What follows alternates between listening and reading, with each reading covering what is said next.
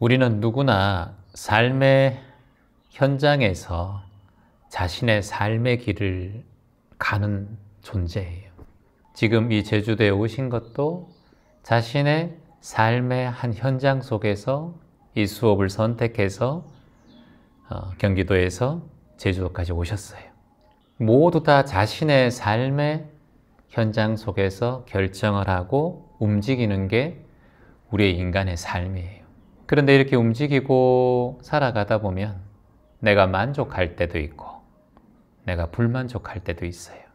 매 순간 내가 뭔가 선택했을 때 만족한다면 참 좋은 인생인데 우리의 인생은 매 순간마다 만족할 수는 없어요. 가다가 식당 맛있는데 후기 좋은데 갔다가도 때론 맛이 없을 수도 있어요. 근데 허름한 식당, 백반 식당에 배가 고파서 그냥 무심코 어, 위생 상태도 별로 안 좋고 깨끗하지도 않은데 딱 들어갔는데 그 할머니의 청국장 하나가 되게 맛있을 수도 있어요. 이게 이제 삶의 불확정성이에요. 삶은 확정적이지가 않아요. 항상 불투명하고 불확정의 원리 속에 있어요.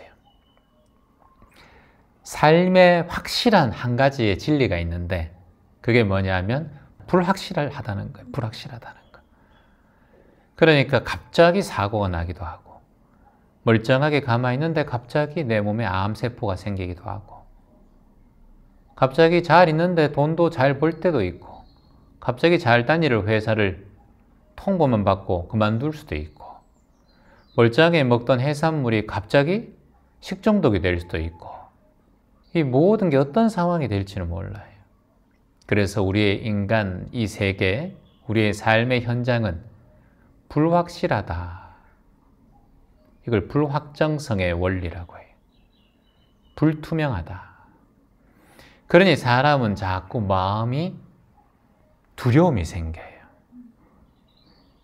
이 두려움이란 게 우리의 몸의 건강을 지대하게 망가뜨려요. 두려움이 자꾸 생기면 우리의 내장 기관들이 활동을 잘 못하고 굳어요. 그래서 음식을 먹어도 두렵고 긴장된 상태에서는 소화가 잘 안 돼요. 왜 안 되느냐면 위장이 굳기 때문에 장 기능이 자꾸 굳기 때문에 배를 배의 작용들이 소화의 작용들이 자꾸 느려져요. 그래서 스트레스를 많이 받으면 밥을 안 먹어도 배가 고프지가 않아요. 그냥 그 생각 때문에. 그래서 인간은 살아가는 이 모든 환경 속에서 확정적이지 못하고 불확정하기 때문에 항상 두렵고 고통과 괴로움의 삶을 살아가요. 근데 보통 우리가 스트레스 받는 많은 이유 중에 하나가 옆에 사람들, 주변의 사람들을 신경 쓰기 때문에 일어나는 스트레스가 많아요. 예를 들어서 나 혼자 살면 모르는데 가족이 갑자기 아프다든가 가족이 무슨 일이 생긴다든가 또는 내가 하는 일들이 무슨 일이 생긴다든가 어떤 상황에서 인연관계 속에서 많은 인연을 가진 사람일수록 더 많은 스트레스를 받을 수가 있어요. 가지 많은 나무에 바람 잘 날없다 이런 말처럼. 근데 중요한 것은 그런 사람한테는 또 좋은 일 생기면 인복 많다 이렇게 얘기해요. 근데 인복 많다라고 하다가도 그 인복으로 인해 고통받는 사람도 많이 있어요. 그래서 지금 내가 가지고 있는 이 복과 인복이 과연 시간이 많을, 많이 가서 나중에도 복이 되고 인복이 될 수 있는가? 그것은 나중에 시간이 지나가 봐야 알 수 있어요. 그 사람 때문에 힘든 경우가 생길 수가 있어요. 제가 가장 많이 상담받는 게 여기 오시면 보통 다 90% 이상이 가족 문제, 자식 문제, 부모 문제, 애인 문제, 배우자 문제. 90%에 90%. 그래서 가장 가까운 사람이 나를 가장 힘들게 한다. 그래서 삶은 독립적으로 살아가야 돼요. 본인도 지금 아직까지 이제 사회 나와서 어찌 보면 사회 초년생일 수도 있고 어, 경험을 이제 해 나가는 입장이기 때문에 내 마음에 지금 살아가는 게 항상 개별적으로 독립적으로 인생길을 살아가야 한다라고 마음 내야 돼요. 부모한테 기대어 또는 누구한테 기대어가 아니라 우리 인간은 태어날 때부터 독립적인 존재예요. 부모가 어릴 때부터 젖을 주고 키워왔지만 결과적으로 20대가 넘어가면 개별적이고 독립적인 존재로 살아가야 합니다. 그게 우리의 인생길이에요. 근데 자꾸 부모 옆에서 또는 가족 옆에서 살다 보면 자신의 개별적이고 독립적인 능력이 자꾸 쇠퇴가 돼요. 동물들은 철저하게 개든 뭐 고라니든 호랑이든 사자든 1년이 딱 지나면 다 독립해요. 인간만 계속해서 독립하지 않고 연락하고 소통하고 그렇게 살고 있어요. 여기서 가장 중요한 것은 정을 끊어야 돼요. 여기서 정이란 것은 뭐냐 하면 안 보는 것이 아니라 감정을 좀 끊어야 돼요. 감정. 그래야 본인이 가족으로부터 또는 어, 부모로부터 이렇게 스트레스에서 좀 벗어날 수 있어요. 그래서 자신의 스트레스도 해결하기 힘든데 가족들의 스트레스까지 다 안고 살아가는 사람이 보통 마음이 참 많이 힘들어서 여기 와요. 그래서 우리는 다 인간의 각자의 삶의 존엄성을 인정하고 존중해 줘야 돼요. 엄마가 힘들고 자식이 힘들고 배우자가 힘들다 하더라도 그 마음이 힘든 것은 이해하지만 그 힘든 걸 내가 대신해 줄 수는 없어요. 어, 그래서 이것을 엄마, 아빠, 배우자로 보지 말고 한 존재의 아픔으로 보면 그 고통을 좀 들어도 내가 의식이, 감정이 투영이 되지 않아요. 근데 부모가 예를 들어서 아프고 힘들면 내가 의식이 다 투영돼 버리면 나도 병이 있는 것처럼 마음이 아프고 힘든 상황이 생길 수가 있어요. 그래서 거기서 아, 내가 다만 엄마든 아버지든 배우자든 자식이든 간에 한 존재로 보자. 존재로 보면 마음에 눈이 열리고 귀가 열립니다. 음, 근데 그걸 가족으로 보면 너무 가까운 사람으로 보고 하면 내 인생에 영향을 받아서 가족의 아픔도 나에게 와서 삶이 굉장히 힘들어질 수 있어요. 그래서 내가 해줄 수 있는 건 별로 없어요. 얘기를 들어주고 같이 위로해주고 근데 내가 가족의 어떤 상황 때문에 피폐해져 버리면 내 인생도 무너진다는 걸 꼭 알고 항상 독립적으로 내가 살아가야 되는 게 내 인생이다라고 이제 젊은 분이시니까 그 마음을 딱 냈으면 좋겠어요. 항상 내가 독립적으로 살아가고 잘 살아가야 부모도 행복하고 그리고 또 어, 주변의 가족들도 행복해요. 그리고 가끔 보면 행복한 거예요. 근데 계속 붙어 있으면은 안 좋은 소리, 좋은 소리 다 들어요. 그리고 또 좋은 것보다 오래 붙어 있으면 안 좋은 게 더 많이 보여요. 잔소리도 더 많아지고. 그래서 가족은 가끔씩 보는 게 좋아요. 가끔씩 보면 반갑고. 명절 때 많이 싸우잖아요. 우리가 사람들. 오래간만에 봐도. 그래서 항상, 아, 내가 가족을 존재로 보자. 구성원으로 보자. 어, 그저 인연으로 보자. 아, 좋은 인연이지. 부모님과의 인연. 어, 자꾸 모르게 집착하는 마음이 생겨요. 엄마도 자식에게 집착하고, 자식도 부모에게 집착하고.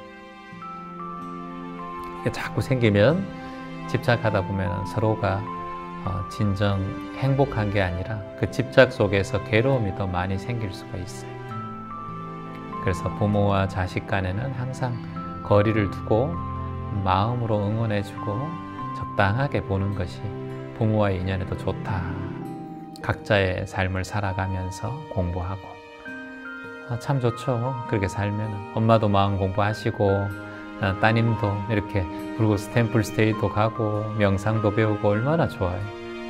그러면 이제 만나면 기분 좋은 거예요 서로가 아 잘 살아가고 있구나 아, 이렇게 생각하고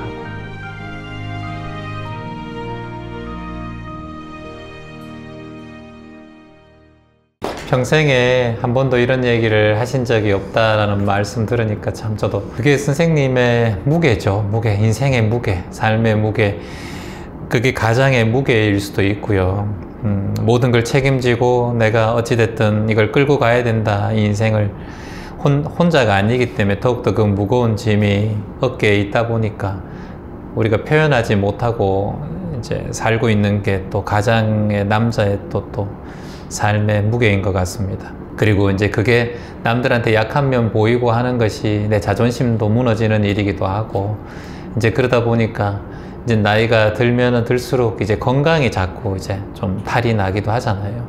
그래서 이제 그것을 이제 아셨으니까 건강하기 위해서는 저는 그렇게 생각해요. 마음에 쥐어잡고 있는 어떤 이 뭉쳐진 것을 좀 내려놓는 게 가장 건강에 좋은 것 같아요. 어, 보통 우리가 죽을 때 사람들이 건, 건강이 안 좋아지는 이유가 첫 번째가 마음에 맺힌 게 많을 때 건강이 안 좋아진대요. 마음에 맺힌 게 많을 때. 그러니까 마음에 맺힌 걸 푸는 게 건강이 좋은 거죠.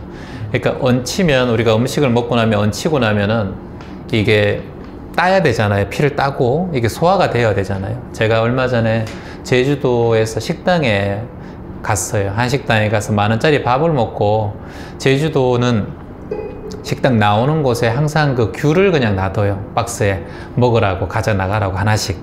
그래서 귤이 흔하기 때문에.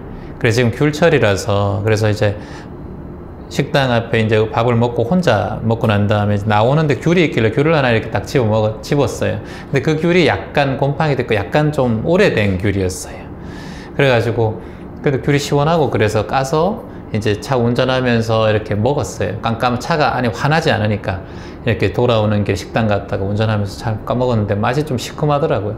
그딱 먹고 한 20분이 지나자 갑자기 머리가 아프기 시작하더라고요. 갑자기 처음에. 그리고 이게 심장이 답답하고 속이 막 부글부글 하기 시작하더라고요. 아, 이 순간 뭔가 독이 내 몸에 들어왔다는 걸 나도 모르게 반사적으로 느꼈어요. 식중독 같은 느낌이 들었어요. 옛날에 멍게 먹고 잘못 먹고 식중독에 한번 걸렸던 기억이 딱 나면서 근데 내가 뭐 먹었지? 밥 먹고 귤 먹었는데 밥은 뭐 항상 먹던 밥이니까 그 집에 뭐가 반찬이 잘못됐나 생각 딱 생각해 보니까 귤이 아까 상한 것 같은 거예요. 그게 오래된 귤이. 그래가지고 그냥 짚고 나와서 차 안에서 까먹다 보니까 어두컴컴한데 까먹다 보니까 그게 상했는지 안 상했도 모르고 먹은 거예요. 그러고 다음에 그때 제가 딱 한 게 뭐냐 하면은 이걸 빨리 토해내야 되잖아요. 근데 그게 토해내는 게 한 20, 30분 지나놓으니까 이게 소화가 빨리 돼버릴 수도 있고 안 나오더라고요. 그래서 그때 제가 딱 방석을 펴놓고 절을 했어요. 한 100배 정도 했어요, 절을. 그러면 한 10분에서 15분 정도 가거든요. 딱 하니까 엎드리고 있는데 신호가 딱 오더라고요. 그래서 바로 화장실로 가서 변기를 딱 올리고 그냥 하겠어요. 그대로 그 귤이 나오는 거예요. 먹은 쉽지도 않았고. 그리고 난 다음에 모든 땀나고 오한이 오고 머리가 아프고 배가 아프고 이게 다 사라져버려요. 그 순간에. 야, 독이 이렇게 무섭구나 라는 생각을 했어요. 한순간에 그게 딱 하고 나니까 그 수행을 수행을 오래 하다 보니까 몸이 아플 때도 내가 뭘 해야 되는지 제가 본능적으로 알겠더라고요. 그 절을 하면은 이게 위장이 이렇게 되니까 토를 편하게 할 수 있었어요. 딱. 그래서 내가 독이 나오고 나면은 이게 몸이 개운해진다는 것을 그날 다시 한번 느꼈어요. 우리가 마음에도 마음에 독을 품고 있으면 그게 독이 자꾸 내 마음 속에 있어요. 근데 이것을 정화하고 뽑아내야 되거든요. 근데 우리 뽑아내는 방법을 모르잖아요. 모른단 말이에요. 이거는 귤이니까 토해낼 수는 있지만 이거는 내 마음에 수십 년 동안 여기 멍울이 있던 화는 뭐 뽑아내든지 딸 수도 없어. 그래서 방법이 있어요, 이게. 이게 무슨 방법이냐면, 자, 여러분이 여기에 물이 있어요. 여기 물이 축적됐는데 귤은 금방 2, 30분을 전에 먹었기 때문에 축적되어 있는 게 아니에요. 오랫동안 머무른 게 아니에요. 금방 딱 토해낼 수 있어요. 근데 우리의 마음의 병과 마음의 아픈 거는 오랫동안 여기 담겨 2, 30년 넘었기 때문에 굳어 있어요, 이게 거의. 그리고 밑에 딱딱하게 고여 있어요. 고여 있는데 이거를 부어내도 여기 붙어서 안 나와. 이 화가 우리가 그걸 우리가 업이라고 하거든. 업. 마음 깊이 새겨진 어떤 업장이라 그런다면 업의 장애. 그게 안 나오면 어떻게 해야 되느냐? 여기를 부어도 안 나오고 약을 먹고 이걸 이제 정신과 약을 먹든가 무슨 캠페인을 하고 어디 프로젝트를 해서 막 정신을 개조하고 그래도 여기 그냥 물을 한번 붓는 것밖에 안 돼. 여기 밑에는 그대로 남아 있어요. 그러면 이걸 어떻게 해서 제거할 수 있느냐? 첫 번째는 이게 거치면 원래 밑에 깨끗해요, 안 깨끗해요? 깨끗하지. 그게 본래 내 마음이란 걸 먼저 아는 게 첫 번째예요. 내가 지금 자존감, 자존심이 있었고, 남한테 이런 얘기 하기 싫고, 내가 그래도 어, 남 눈치 안 보고, 남의 빛안 좋은 일 안 하고, 이런 어떤 내가 불안 안 하고, 내가 불면증이 아니고, 내가 이런 마음이 없는 본래 존재라는 걸 먼저 알아야 돼요. 그게 본래심이에요, 본래심. 여러분의 본래심은 이기적이지도 않고 원래 평화롭고 고요하고 편안하고 착하고 긍정적인 마음이 있어요 우리 안에. 근데 살다 보니까 아버지, 남편, 시부모, 자식 이렇게 섞이다 보니까 이게 오염돼 가지고 여기 밑에 있는 거야. 그러니까 이게 자꾸 불안하기도 하고 예민하고 단 건데 내 본래 마음은 그렇지 않아요. 본래 마음은 편, 편안해요 원래. 근데 살아오면서 환경으로 인해서 바뀐 거예요 내 마음이 그래서 이걸 먼저 첫 번째 아는 거예요. 그걸 제가 여러분에게 말씀드리는 게 나는 본래 희망의 존재라는 거예요. 내가 본래 희망이다. 희망이다라는 거예요. 나는 본래 희망이다. 뭐라고요? 나는 본래 희망이다. 아무것도 없는 깨끗한 거울이에요, 여러분 원래. 근데 이 거울에 자꾸 만지고 얼룩지다 보니까 검정색으로 보일 뿐이야. 그게 불안하기도 하고 불면증이기도 하고 욕심이기도 하고 화내는 마음이기도 해요. 근데 그 마음이 자꾸 있다 보니까 이게 투명한 거울이 안 보일 뿐이지 어두우니까. 근데 이걸 닦아내야 되잖아요. 그럼 어떻게 되느냐? 처음에 아무리 긁어도 안 돼. 그러면 방법이 한 가지가 더 있어요. 두 번, 첫 번째는 뭐라 그랬어요? 본래 밑바닥이 깨끗하다는 걸 아는 거예요. 그래야 여러분들이 할 수 있는 거예요. 두 번째는 뭐냐? 물을 계속 부어야 돼요, 물을. 물을 계속 부어야 돼요. 물을 계속 부으면 여기 밑에 깎여서 나와요. 침식작용이 되어서. 그리고 밑바닥이 보여요. 낙순물이 바위를 뚫듯이 한 방울 한 방울이 계속해서 물을 부으면 돼요. 이걸 정진이라고 하는 거예요. 정진. 그러면 뭘 붓느냐? 본래 이게 어두웠던 마음이면 검정색 마음이면 맑은 물을 부어야 돼요. 맑은 물을. 맑은 물을 계속 마음에 부어주는 거예요. 자, 그러면 여기 어두운 마음은 어떻게 생겼어요? 뭐로 생겼어요? 자, 세 가지로 생겼어요. 첫 번째는 여러분의 생각으로 생겼어요. 두 번째는 여러분의 말로 생겼어요. 세 번째는 여러분의 행동으로 생겼어요. 요걸 의구신이라고 해요. 세 가지의 장애라고 해요. 요 여러분 밑에 굳어 있는 거 요게 뭐로 굳어 있느냐? 바로 첫 번째는 생각으로 굳어 있어요. 두 번째는 말, 말하는 거 항상 부정적이게 말하는 사람은 평생 부정적이게 말해요. 그리고 평생 난폭한 사람은요, 그거 못 고쳐요, 잘. 그래서 첫 번째 뭐라 그랬어요? 의, 생각, 뜻이에요, 뜻. 두 번째 구, 입구자예요. 말이에요, 언. 말씀 원자예요, 언. 세 번째는 행동할 때 행이에요. 몸이에요, 몸. 그것을 예전처럼 똑같이 행동하면 돼요, 안 돼요? 그러면 더 굳어지지. 그래서 여기에서 맑은 의구신, 맑은 뜻, 맑은 말, 맑은 행동을 해야지만이 이게 오염된 게 사라질 수 있어요. 그래서 제가 여기서 사라지는 방법 중에 가장 좋은 방법이 내가 지금까지 내 것만 챙기며 살았어요. 그래서 여러분들이 남을 위해서 단돈 천 원이라도 쓰면서 살아라는 거예요. 나눔을 하라는 거예요, 첫 번째. 나눔을 하면 나도 좋고 상대방도 좋아요. 이게 밝은 마음이에요. 그러니까 밝은 생각, 나는 나눔을 하겠다라는 마음을 내는 게 중요해요. 두 번째, 봉사를 하겠다라고 마음 내면 좋아요. 쓰레기 하나 줍겠다라고 마음 내면 좋아요. 이건 나도 좋고 세상한테도 이로운 일이에요. 그래서 나눔과 봉사를 해야 하면 여기에 깨끗한 물을 계속 붓는 거하고 똑같아요. 자, 그래서 부처님도 왕자인 상태에서 모든 걸 내던지고 숲속에서 많은 사람들에게 이렇게 설법했어요. 매 순간 자비를 베풀어라. 보리심을 베풀어라. 보살도를 내라. 자비이사 사무량심을 내어라. 매 순간마다 얘기했어요. 자비시, 자비이사. 이 네 가지 마음을 내라고 했어요. 붓다는. 자는 자비심이에요. 비는 뭐냐 하면 남이 슬플 때 같이 슬퍼해 주라는 거예요. 이게 뭐냐? 남이 슬플 때 좀 도와주라는 거예요, 여러분. 이게 뭐예요? 나눔이에요. 자비희. 희는 뭐예요? 남이 기쁠 때 같이 박수 쳐주고 좀 기뻐해 줘라. 소통해라는 뜻이에요. 그리고 마지막 사는 모든 중생들이 평등하기 때문에 차별하지 말라는 거예요. 돈 많다고 우를 볼 필요 없고 돈 적다고 자꾸 무시하지 말고 차별하지 말고 평등하게 세상을 바라봐라. 그래야 너희 마음이 깨끗해진다는 거예요. 예수님은 뭐라 그랬어요? 왼손이 하는 일을 오른손이 모르게 하면서 도와주라 그랬잖아. 그렇잖아요? 누가 겉옷을 내달라면 속옷까지 내주라고 하셨잖아. 예수님도. 누가 감옥에 가 있으면 면회라도 가져오라고 했고, 아프니가 보이면 내 데일밴드든 약이라도 하나 내주라고 하셨고, 배고픈 자가 있으면 노숙인이 있으면 홈리스가 있으면 빵이라도 하나 주시라고 하셨단 말이에요.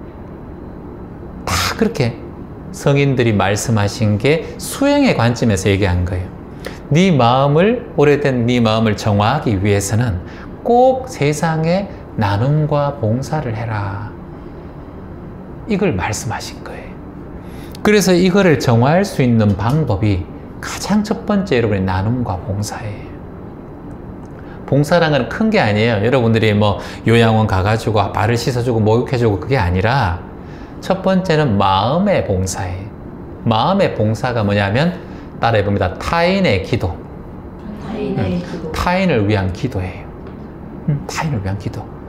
지금도 여러분들 어, 저기 수녀회라든가 뭐 경로 수녀회라든가 숲속의 가요한 수도원 같은 데는 일어나서 신부님들이나 수녀님들이 다른 거 안 합니다. 먹을 거 농사 짓는 거 딱 하고요. 청소 딱 하고요. 하루 종일 하는 게 뭔지 아세요? 타인을 위한 기도예요. 타인을 위한 기도.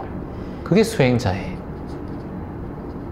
이 세상에 존재하는 모든 존재들이 번뇌와 괴로움에서 벗어나 건강하시고 평온하시고 괴로움의 원인에서 벗어나시길 하나님의 은총으로 부처님의 자비로 이걸 계속해서 기도해 전쟁이 일어나면 전쟁에 대한 자연재해에 대한 자연재해 이게 본인이 평생 하는 일이에요 기도하시는 오래 하신 분들 보면은 얼굴이나 눈빛이 달라요 근데 그 소리를 누가 들어요 처음에 하나님이 듣겠어요? 내가 먼저 듣겠어요? 내가 먼저 들어요. 그 기도는. 기도는 사실은 세상을 위한 기도지만 사실은 나를 위한 기도예요. 이 세상의 모든 존재가 하면 내가 포함돼요? 안 돼요? 포함되지. 자식도 포함되잖아. 내 자식 잘 되게 해주세요. 내 남편 잘 되게 해주세요. 이건 이기적인 기도예요. 그러면 자꾸에게 업이 쌓여. 그러지 말고 이왕 기도할 거면 세상을 위한 기도를 하라는 거예요. 응? 세상을 위한. 내가 몸이 아파요. 예를 들어서 남편이 도박을 해요. 그럼 남편이 도박을 끊었으면 좋겠어. 내 남편 도박 끊게 해주세요. 이렇게 기도하지 말고 세상의 모든 존재들이 도박으로 힘들어하는 가정, 가정의 모든 가정들이 평화롭기를 도박에서 멀어지시기를 내 몸이 아파서 병원에 가면 병원에 가서 그냥 내 것만 진단받고 주사 맞고 오지 말고 이곳에 이 병원에 오늘 찾는 모든 이들이 건강하시기를 이렇게 기도하셔야 돼요. 그래야 이게 계속 물을 붓는 그 효과가 있어요.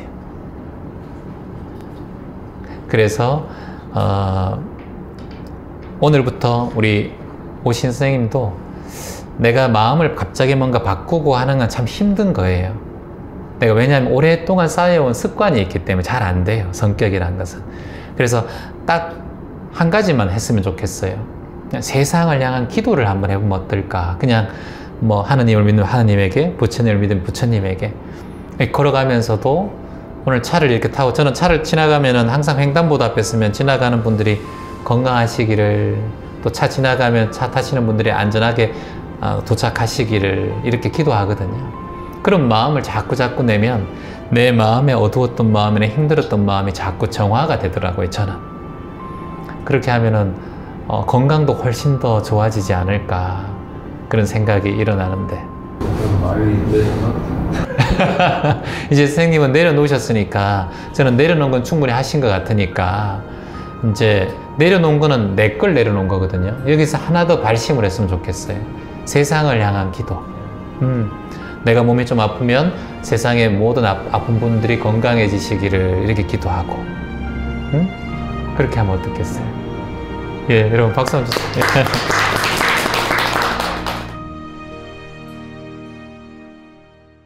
어느 날 보시더니 어 선임인가 이러시는 거예요. 그럼 무조건 덜어라. 선임이 말씀은 무조건 덜어라. 근데 선임이 왜 이렇게 잘생겼나?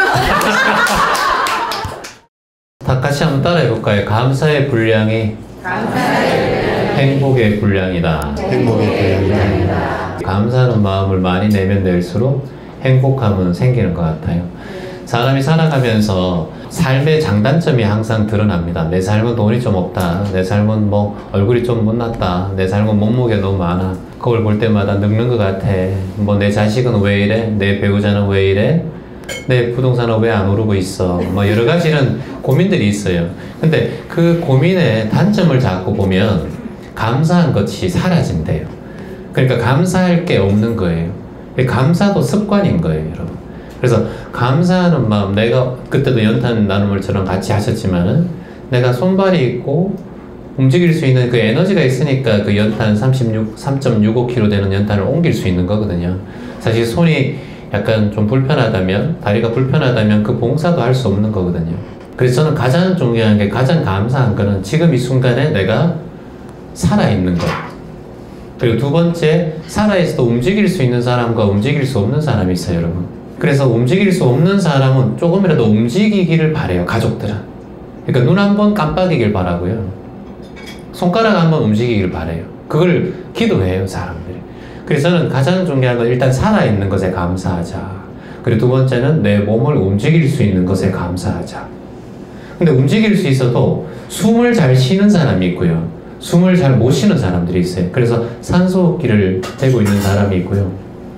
그래서 그 다음에는 숨 쉬고 있는 것에 일단 감사하자. 이렇게 항상 마음을 내거든요. 그래서 저는 이 세 가지 살아있음에 감사합니다. 그리고 움직일 수 있음에 감사합니다. 그리고 숨 쉴 수 있음에 감사합니다. 이게 제가 세 가지 항상 실시간 방송 때 여러분 마지막 기도하잖아요. 그게 우리에게 가장 기본적으로 감사한 것의 토대라고 보거든요. 집을 지을 때도 지하를 잘 파고 뼈대를 잘 만들어 놓으면 그 집이 잘 올라가고 원래 지하 공사하는 데만 몇 개월, 몇, 몇 년씩 걸릴 수 있잖아요. 하지만 그 뼈대가 딱 생기고 난 다음에 여러분 금방 올라가는 거 알아요? 예, 건축물 금방 올라가요. 그래서 이 기본적인 것에 감사하는 마음이 뼈대를 이루고 있는 사람은 평상시에 여러분들 만나는 모든 인연에 감사하는 마음이 일어나요. 근데 여러분께서 기본적으로 내가 살아있음에 감사한 마음이 없고 숨 쉴 수 있는 것에 감사한 마음이 없고 움직일 수 있는 것에 감사한 마음이 없다면 다른 것에도 감사한 마음의 뼈대가 잘 안 올라가요. 그러면 이 세 가지 살아있음에 움직일 수 있음에 숨 쉴 수 있음에 이 감사한 마음이 일어나는 사람은 기본적으로 자신의 몸을 움직여서 내가 타인에게 도움이 되는 일을 하려고 하는 마음이 생겨요. 쓰레기 하나 줍고 움직일 수 있으니까 연탄 나눔도 하고 환경 정화도 하고 그리고 내가 정신이 말짱하기 때문에 남을 위한 타인을 위한 기도를 할 수도 있는 거예요.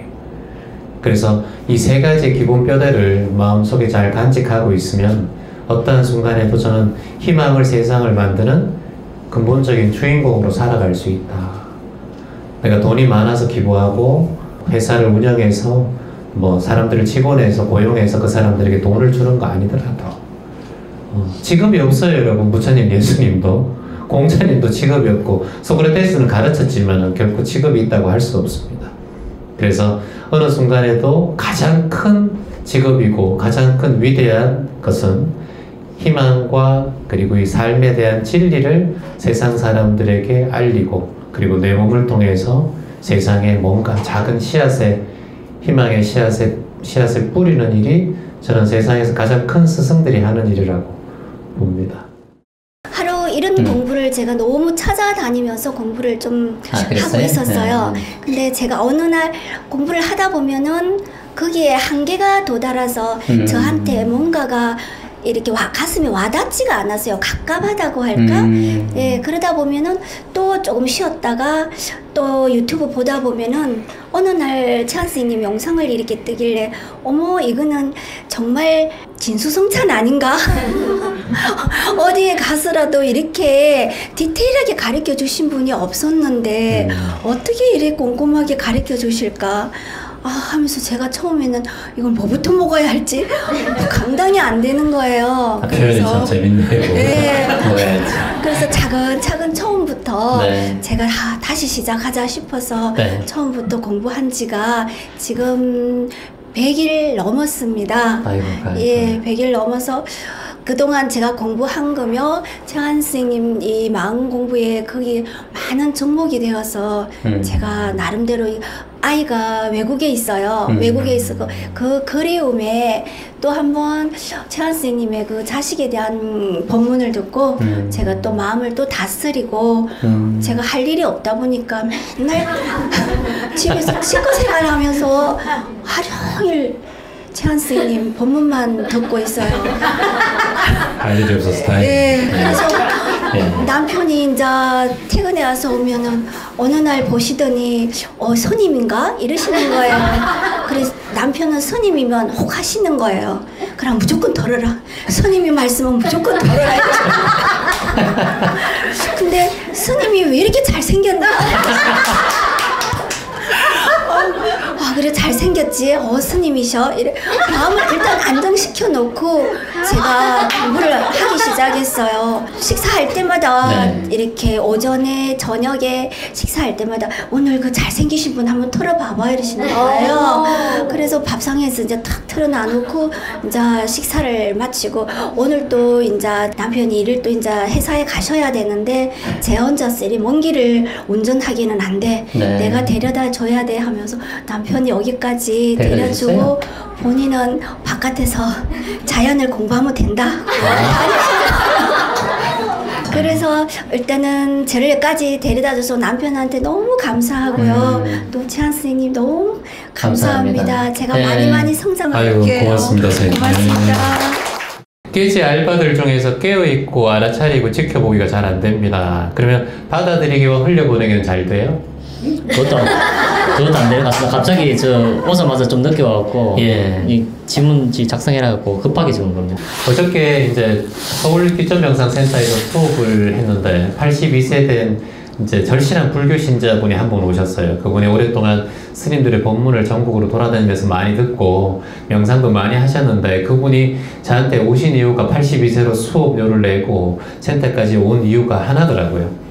깨지 알바들을 지금까지 몰랐는데 그걸 보고 내가 명상과 불교에 눈을 떴다 이렇게 말씀하시더라고요. 그러니까 아무리 찾고 헤매고 그래도 그걸 알려주는 사람이 없었다. 정말 경전 공부를 저보다 더 많이 하고 달달 외우신 분인 것 같아요.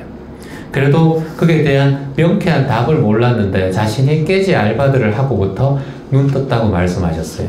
근데 지금 깨지 알바들이 안 보인다는 거잖아요. 네. 예. 그러면 깨지 알바들이 무슨 뜻인지는 알잖아요. 네. 깨가 뭐예요? 깨어있기, 치는 뭐예요? 지켜보기, 알은 뭐예요? 받은 뭐예요? 받아버리기 아닙니다. 잘못하면 가서 받아버리자 이렇게 생각하시는데 흘은 뭐예요, 여러분? 예, 흘려보내기 아니에요. 흘려보내기 아니고 흘려보내기. 네, 흘려보내기. 흘리보내 흘려보내기 자꾸 흘린단 말이야, 자꾸. 그리고 자꾸 이자 분단 말이야, 자꾸. 그 이자 분면 안 되고 흘려보내기예요. 자, 그러면 잘 되지 않는다면 보통 이게 잘 되지 않는 이유는 현실에서 잘 되지 않을 거예요.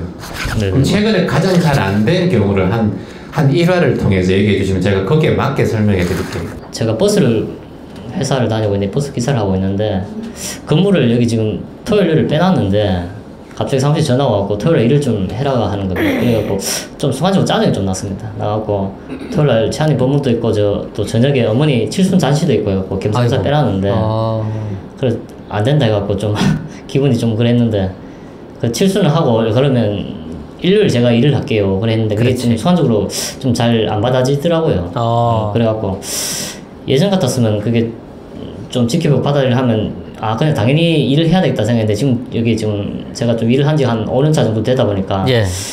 그래도 제가 여기도 연차가 있는데 저보다 저 배차표를 보니까 저보다 연차 안 되신 분들이 전부 다 쉬고 있더라고요. 그래 순간적으로 좀 짜증이 좀 많이 났어요. 아 연차도 안 되는 사람들이 예, 예, 지금 버스 회사 같은 경우에는 좀 군대처럼 이렇게 연차로 좀 많이 휴무를 빼고 하는 경우가 있어갖고 네 그런 부분에서 좀 짜증이 많이 났습니다. 아, 네. 연차라는 것들이 말이야. 나도 지금 연차가 됐는데 그게 비교하는 마음이 딱 올라가는 네네 그렇죠. 네. 그 비교하는 마음이 올라오면 명상을 하는 데는 굉장히 방해가 돼요.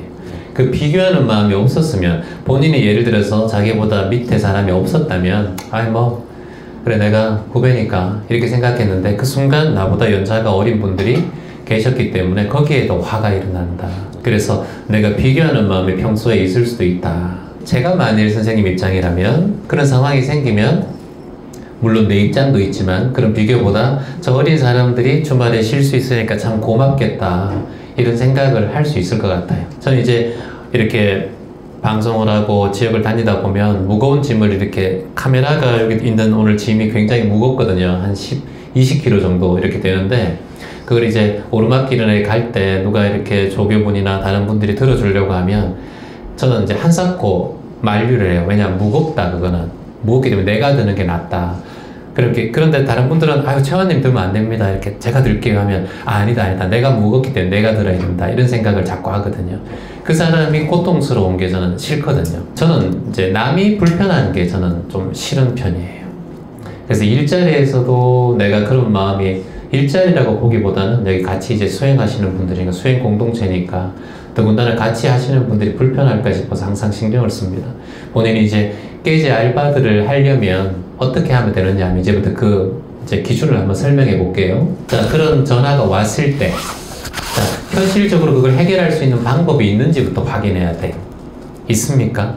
일단 거절을 하면 되는데 네. 그 거절을 하면 이제 배차 사무실 사람하고 좀 거리가 좀 멀어지는 경우가 좀 있습니다. 그게 두려움이잖아요. 예 그렇습니다. 그렇죠. 예. 거절해서 그 사람하고 거리가 멀어지면은 내가 불편하다. 이 두려움이 올라오죠. 그리고 또 그래서 어떻게 대응하셨어요? 그냥 토요일은 안 되고 일요일은 이제 한다 그랬습니다. 토요일 원래 좀 해주면 안 되겠냐 사무실에서 부탁을 했는데 네. 토요일은 칠순 잔치라가 안 되고 네. 일요일은 제가 일하겠습니다 그렇게 대처를 했습니다. 음, 그러면은 그 사람하고 이렇게 서로 조율을 한 거예요, 본인 입장에서는? 네, 제 입장에서 조율 했습니다. 어, 그러면 축끝 났잖아. 아, 근데 거기서 기분이 나쁘면 찌꺼기가 남아 있는 거거든요. 네네네. 그래서 그런 일들이 또 나올 때 그 찌꺼기가 선생님에게 또 다른 먼지를 일으켜요.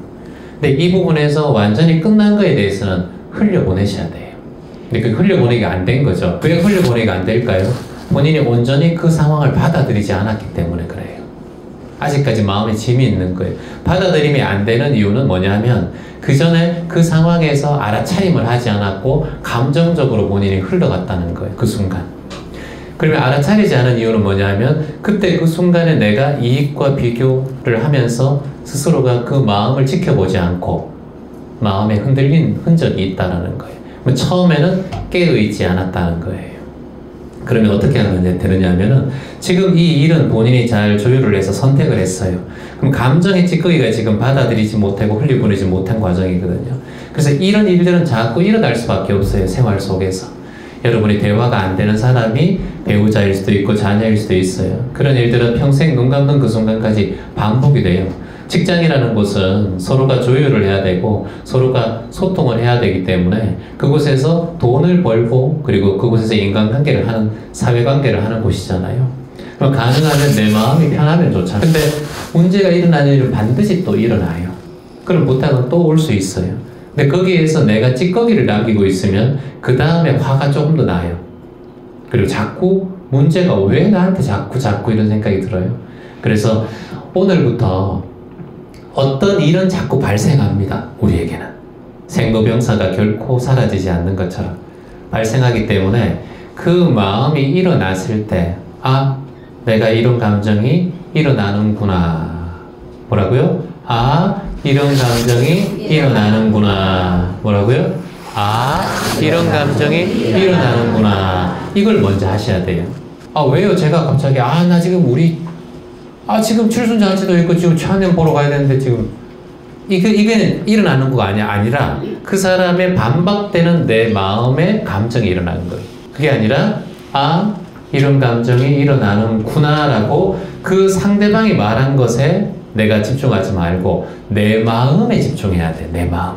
당신이 이렇게 해서 나는 이렇게 화가 난다. 이게 아니라, 아, 당신이 말한 것에 의해서 내가 이런 감정이 일어나는구나 라고 하고 깨어있기라고 본인이 얘기하, 깨어있자라고. 그럼 약간 선명해져요, 머리가. 감정에 치우치지 않고. 그럼 두 번째, 내 감정이 그 말 듣고 어떤 감정이 일어나는지 지켜보셔야 돼요. 화가 일어날 수도 있어요. 왜 나가? 왜 저 뒤에 비교하는 마음이 일어날 수 있어요. 그럼 그 마음이 이렇게도 괜찮아요. 근데 그 마음을 지켜보셔야 돼요. 감정적으로 가버리면 우리 뇌는 편도체 쪽으로 편도체로 신경이 가버리기 때문에 내가 예민하게 바뀌어버려야 돼요. 그러면 지금 이거는 머리 쪽으로 가는 게 아니라 에너지를 모든 몸으로 다 펼치게 되는 거예요. 명상은 머리에 집중하는 게 아니에요. 왜 호흡에 자꾸 집중하세요, 여러분? 손바닥에 집중하세요. 왜 엄지발가락에 집중하세요? 배에 집중하세요. 왜 그럴까요? 우리의 뇌는 기본적으로 가만히 있으면 뇌로 집중되기 때문에 뇌의 혈액이 계속해서 움직이게 돼요. 우리는 집중하는 곳에 혈액이 모이게, 돼요. 여러분이 음식을 딱 드시면 위장에 혈액이 몰려요. 그래서 위장이 소화를 시키는 거예요. 생각이 많으면 뇌에 더 혈액이 몰려요. 그래서 여러분에게 절 운동 자꾸 하시라 그러는 거예요. 몸을 순환시켜라. 소화가 안 되는 사람일수록 절 운동을 자꾸 해라. 그래야 피가 순환이 된다. 당연한 거예요. 우리가 모두 다 보일러에 관을 해놓으면 한 군데 뭉쳐 있으면 방이 따뜻하지 않은 것처럼 그걸 뚫어줘야 되잖아요. 그래서 순환을 시켜주는 게 중요해요. 그래서 깨어있고 그러면 지켜보셔야 돼요. 감정을. 아, 내가 이런 감정이 일어났구나. 지켜보고. 그 다음에 세 번째는 알아차리기. 음, 이런 감정이 일어났음에 알아차립니다. 알아차립니다. 그리고 네 번째, 아, 이런 상황을 받아들입니다. 받아들입니다. 받아들입니다. 내가 지금 화나고 있는 상황을 받아들이는 거예요. 그리고 그 사람이 말하는 것이 기분 나쁜 걸 받아들이는 거예요. 그리고 비교하는 마음이 일어나는 것도 받아들이는 거예요. 그리고 난 다음에 마지막으로 여러분 코로 한번 깊게 숨을 들이마시보세요. 그리고 입으로 내쉬어 보세요. 다시 한번 코로 깊게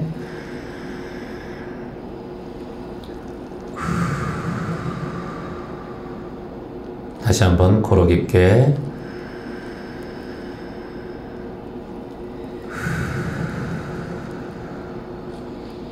이렇게 흘려보내는 거예요. 그래서 깨지 알바들이 여러분에게 말이 아니라 내 감정과 생각, 내 신체 모든 걸 작용을 해서 수행하는 과정이다. 말로만 하지 말고 받아들일 땐 진짜 내가 흡수하고 음? 받아들인다는 거예요. 소크라테스가 2600년 전에 독배를 마시고 젊은이들을 사상을 바꿨다 해서 마지막에 독배를 마시는 사형 선고가 일어나잖아요. 그 거부하지 않잖아요. 받아들입니다. 독배를 마십니다. 그리고 울고 있는 제자들을 향해서 얘기를 해요. 환기를 시켜요. 내가 뒷집 영감한테 닭한 마리 빚졌으니까 좀 갚아둬이 이렇게 그 상황에서도 유머러스하게 죽어가는 상황에서도 얘기를 해요. 그리고 너무 울지 마라. 너희들이 있는 이 세계가 편할지 내가 있는 세계가 편할지 모른다. 어, 이 세상에는 아무것도 아는 게 없다. 해답이 없다. 다만 나는 내가 모른다는 것을 절실히 알고 있다. 이렇게 말씀하셔요. 죽음에 대해서 모르는 거예요. 그래서 자유로울 수 있는 거예요. 그래서 안다고 생각하는 사람들이 가장 어리석은 사람들이라고 할 수 있어요. 소크라테스조차 그렇게 말씀하셨습니다 자네들은 자네들이 모른다는 사실을 안다면 그것은 이미 깨달은 자다. 이렇게 얘기하니까. 그래서 내가 감정을 깨지 알바들은 내가 이 감정에 대해서 알아차리고 지켜보는 거예요. 그리고 난 다음에 현실의 결정은 그 이후에 내려도 상관없어요. 어떤 말이 나왔을 때, 아, 잠시만요. 하고, 제가 깨지 알바들 좀 하고 오겠습니다. 미쳤나, 와카노, 저거, 뭐라 카노? 이렇게 얘기할 수도 있어요. 어, 제가 잠시 알겠습니다. 일단 의견은 들었습니다. 제가 어, 잠시 생각하고 오겠습니다. 한 시간 잠깐만 주세요. 아, 전화 한 통 하고 올게요. 뭐 예를 들어서 알아봐야 될 것도 있고 내 일정도 있으니까 잠시만요. 그렇게 하고 어떠한 감정에 이렇게 올라오는지 잠시 지켜보고 호흡으로 흘려보내고 난 다음에 아 토요일은 어떻게 하고 있고 일요일 날 하겠습니다. 이렇게 얘기하는 것도. 그러면 그 사람이 아 함부로 아 저 사람은 좀 신중하구나. 대화할 때 굉장히 뭔가 생각이 있구나. 하기 싫어요. 하는 사람한테 더 시키고 싶은 사람들이 윗사람들이. 진짜 맞아요 근데 진중하고 뭔가 생각하고 깊이 자신의 말을 의견을 깊이 듣는 사람들은 위의 사람들도 조금 조심스럽게 돼요 근데 감정적으로 다가서면요 윗사람도 감정적으로 계속 다가서요 뭐 생각날 때마다 그 짜증낸 놈 이러면서 탁 체크합니다 그래서 감정은 감정이 부딪히면 절대 안 돼. 우리 수행자님은 수행하시는 분이니까 이렇게 깨지 알바들을 하면서 잠시 시간을 이렇게 가지면 어떨까 싶은데요. 네, 감사합니다. 저는 감사합니다. 예. 사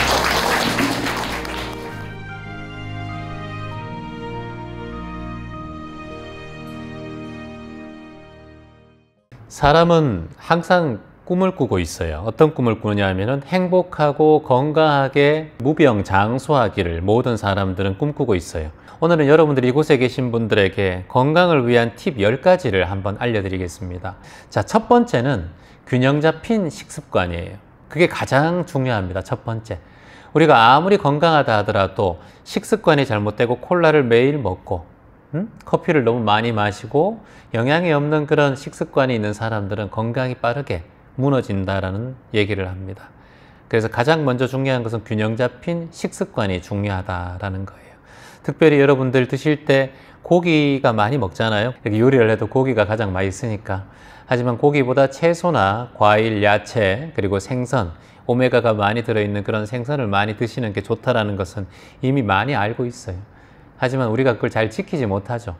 음, 그- 그냥 저도 제주도 있으면서 컵라면에 그냥 햇반 하나 돌려가지고 먹는 경우가 아, 많이 있는 것 같아요. 잘 안 돼요. 그래서 내가 건강하니까 그런 거 먹으면서도 아, 괜찮지라고 생각하지. 제가 몸이 조금 안 좋다면 그런 거 먹으면 내 몸에 치명적인 그런 작용을 할 거예요. 그래서 건강은 언제 지켜야 돼요, 여러분? 건강할 때 지켜야 돼. 건강할 때 지켜야 됩니다. 그래서 항상 식단을 여러분들이 신경을 써야 합니다. 가능하면 채소와 과일, 식이섬유가 많이 들어가 있는 음식을 많이 드시는 게 왜 이걸 식이섬유가 많이 들어가 있는 음식을 먹으라고 하냐면 혈액순환에 도움이 되기 때문이에요. 우리가 동맥경화, 콜레스테롤, 혈관 질환이 걸리는 이유.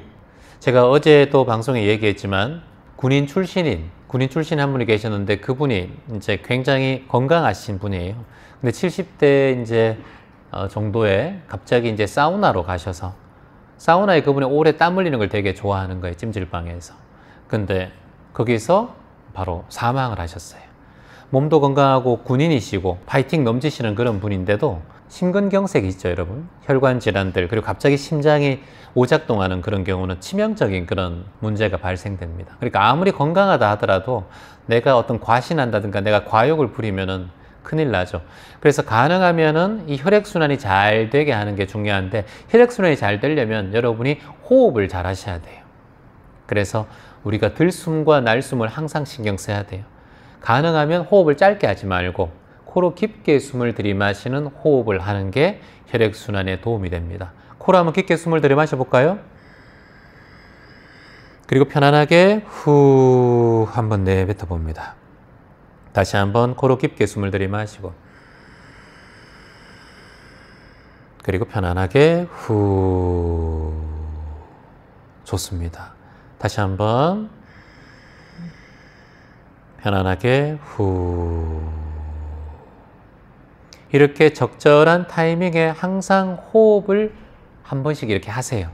그러면 여러분들의 막혀 있는 혈관들이 뚫리게 돼요. 혈관을 움직이는 유일한 것은 O2, 산소입니다. 그래서 정기적으로 화장실을 갈 때도 그렇고 여러분이 호흡을 이렇게 잠시 하는 거. 물한 잔 드실 때도 호흡을 잠시 하고 드시는 거랑 그냥 물 드시는 거랑 흡수가 다릅니다.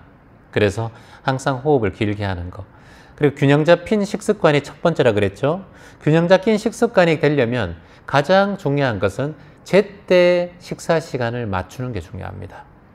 위장도 내 식사를 균형적인 시간에 맞춰서 하면 이게 활동량이 알아서 그때 소화를 시키는 시간이다.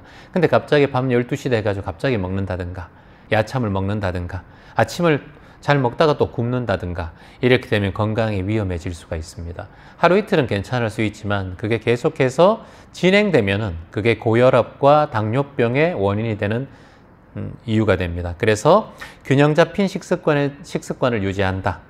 균형 잡힌 식습관을 유지한다. 따라해 볼까요? 잡힌 식습관을 유지한다. 식사 시간을 지킨다. 식사 시간을 지킨다. 바로 그거예요. 이게 첫 번째 장수하고 내 건강을 유지할 수 있는 방법이다. 자, 그리고 또 중요한 건 또 있죠. 식사할 때 가장 또 엉뚱한 게 그거예요. 너무 많이 먹는 거. 그쵸? 과식을 삼가하는 거. 이게 적절한 식습관에서 첫 번째 건강에 아, 꼭 지켜야 할 우리가 장수하고 건강하게 사는 비법이라고 할 수 있습니다. 자, 두 번째, 아까도 말씀하셨지만 정기적인 운동이에요. 뭐라고요? 정기적인 운동이에요.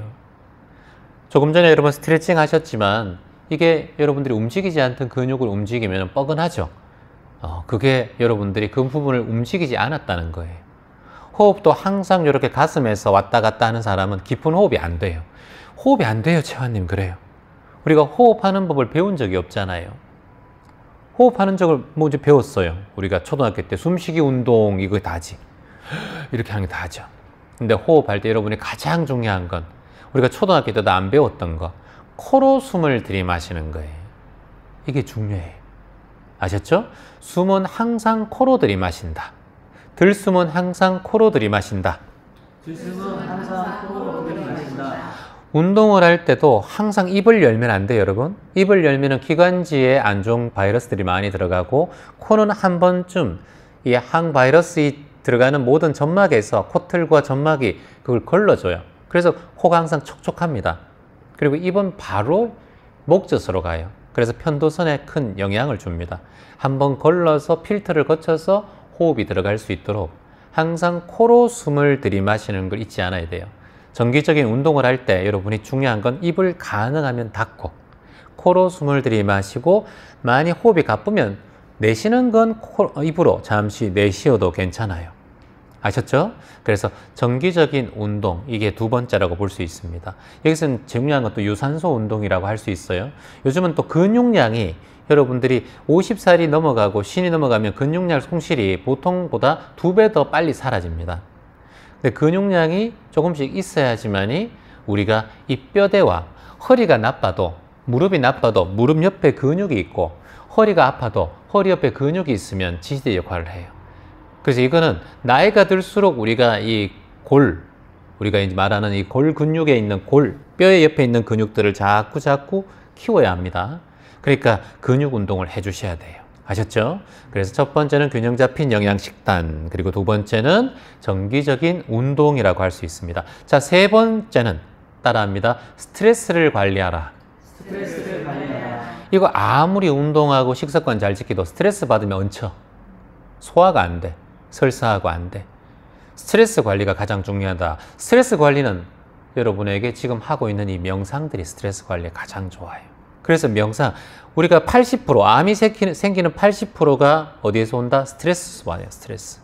그리고 20%가 유전적인 거래요. 근데 중요한 건 여러분, 유전적인 것도 아버지가 스트레스를 잘 받는 유전이 있으면 나도 스트레스를 잘 받아요. 그래서 그게 유전적인 것보다 아버지의 식습관, 어머니의 식습관, 어머니의 스트레스 지수 이런 걸로 인해서 나도 연결되는 거지.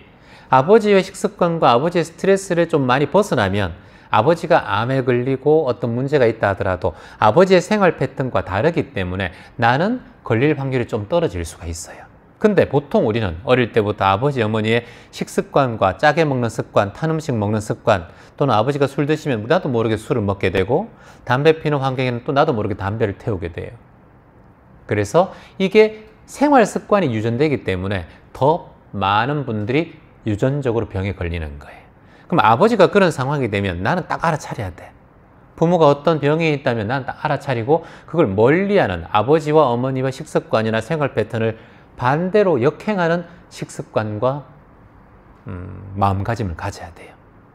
그만큼 스트레스 관리는 중요합니다. 명상, 요가 방금 하신 우리 요가들이나 명상들을 여러분들이 수시로 하고 간단한 스트레칭과 가슴을 한번 쭉 펼치는 것만 해도 기분이 좋아져요. 자, 여러분 엄지손가락을 이쪽으로 해보세요. 엄지손가락 뒤로. 그렇죠. 뒤로 하고 살짝 당겨보세요. 들이마시면서 날개 쭉지 붙인다 생각하고 그리고 다시 후 이게 어깨 근육이 힘들 때 어깨가 아플 때 손가락 엄지손가락을 뒤로 하고 가슴을 쭉 내밀어요 그리고 날개 쭉지 붙인다 생각하고 그리고 머리도 살짝 올리고 들숨으로 하고 후 자 마지막으로 한 번 더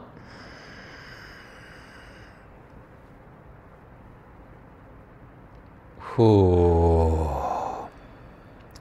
바로 그겁니다. 스트레스 관리가 우리에게 참 필요하죠.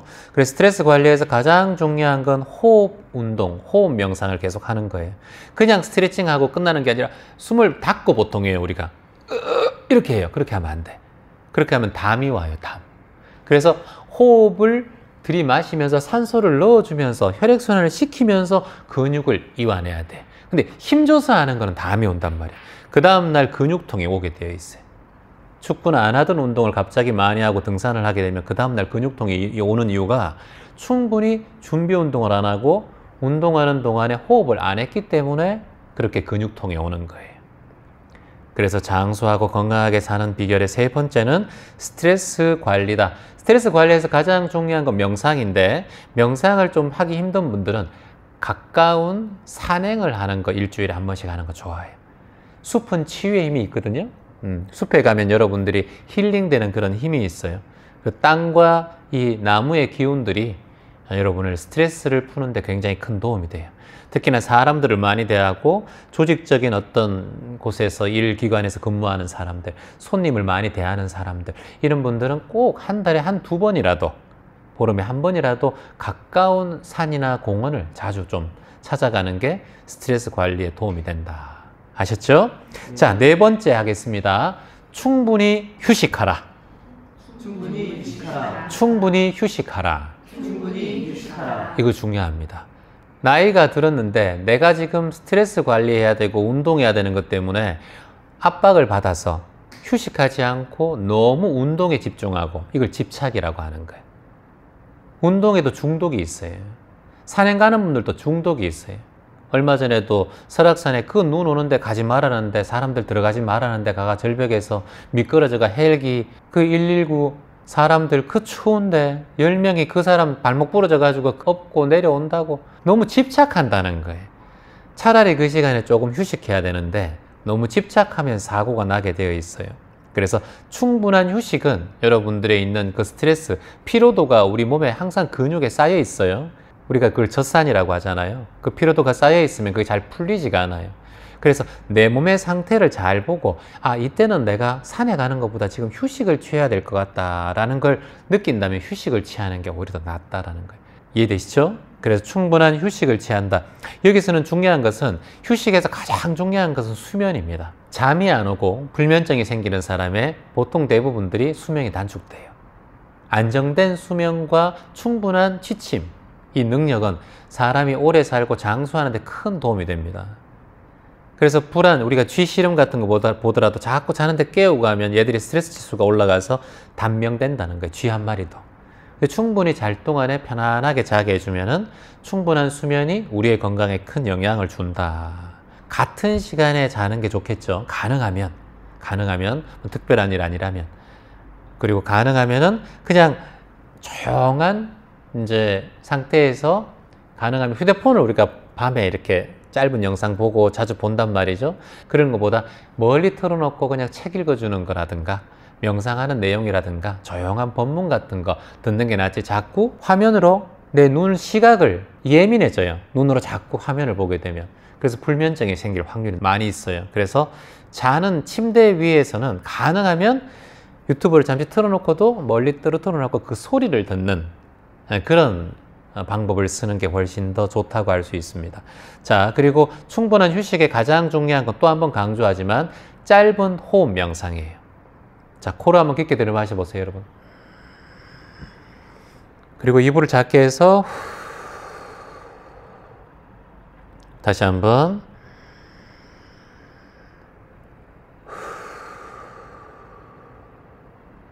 다시 한번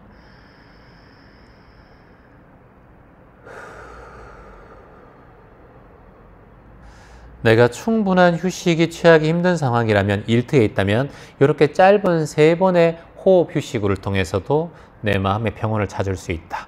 이게 네 번째라고 할 수 있습니다. 자, 다섯 번째, 장수하고 건강하게 살아가는 방법. 자, 따라합니다. 긍정적인 마인드예요. 뭐라고요? 마인드. 그렇죠. 이게 뭐예요? 긍정적인 생각이에요.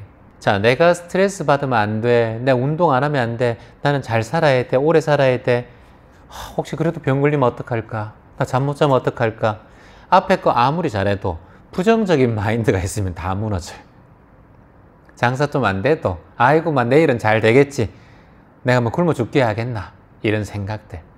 내가 조금 남들에게 좀 신경 쓰는 마음이 올라와도 아이고 또 내 혼자 그렇게 생각한다. 그 사람은 아무 신경 안 쓰는데 또 내 혼자 예민하게 있네. 이런 마음. 이 긍정적인 마인드예요.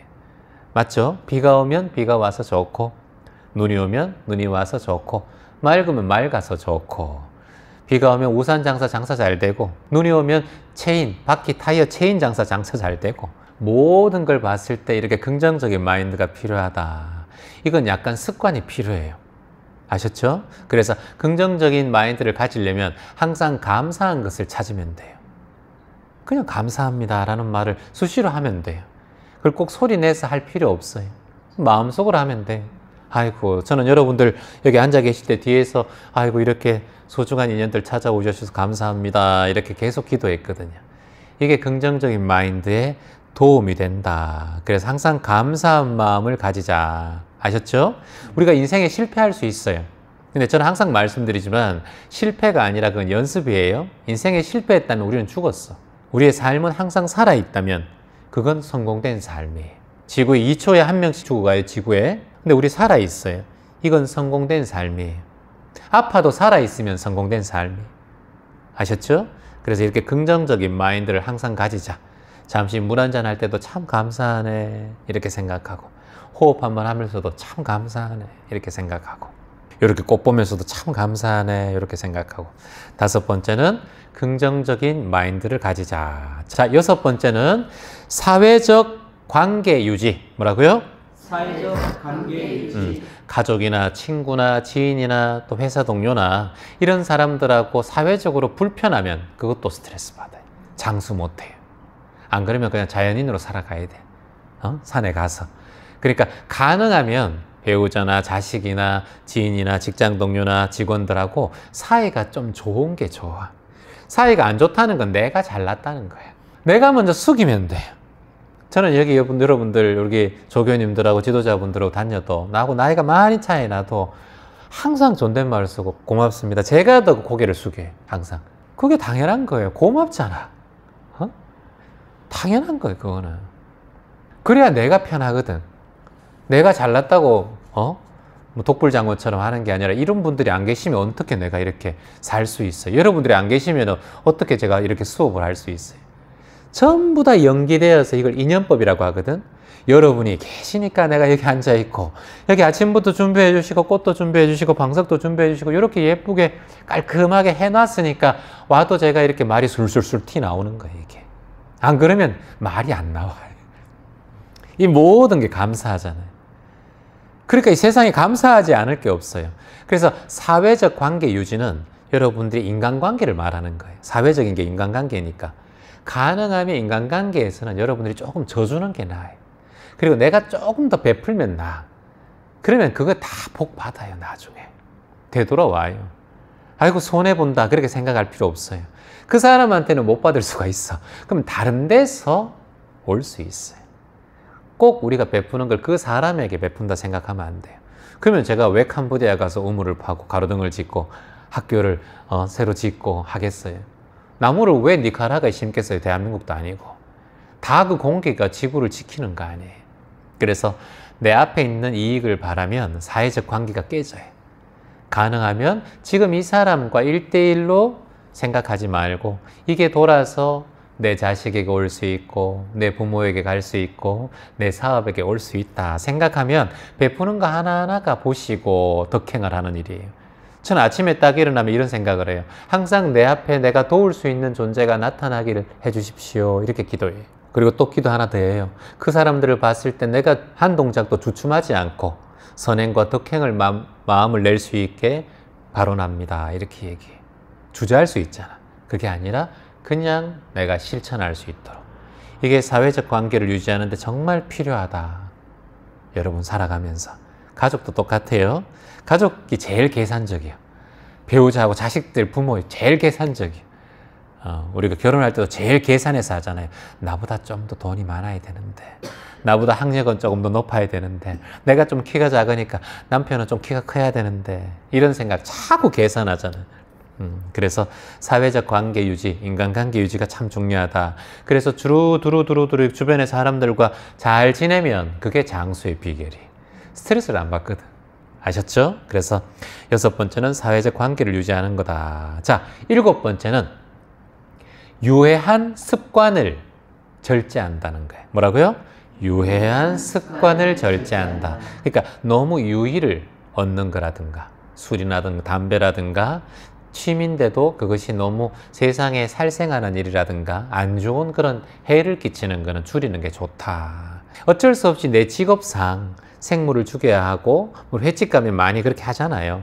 그런 분들이야 저는 뭐 직업상 직업에는 귀천이 없기 때문에 근데 그런 분들에게도 저는 그렇게 얘기해요.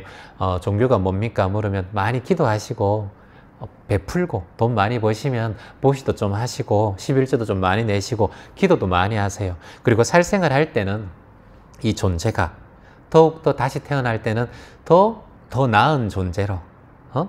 태어나시기를 기도 한번 해주고 하세요. 이렇게 얘기해요. 그거 할 수 있잖아요. 어, 충분히 할 수 있잖아요. 기도하는 게 뭐 돈 드는 것도 아니고. 그래서 가능하면 유해한 습관을 좀 배제하자. 여기서는 중독되는 것 좀 줄이자.